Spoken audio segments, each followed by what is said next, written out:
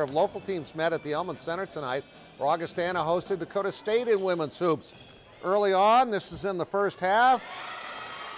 Uh, Shaylee Nagel of Avon with the three for the Lady Tees, but uh, Dave Krauth was happy with this. Right in front of me, the steal by Lindsay Prosser. She goes in for the hoop. Augie had a huge third quarter. There is Shelby Sellen with a jumper.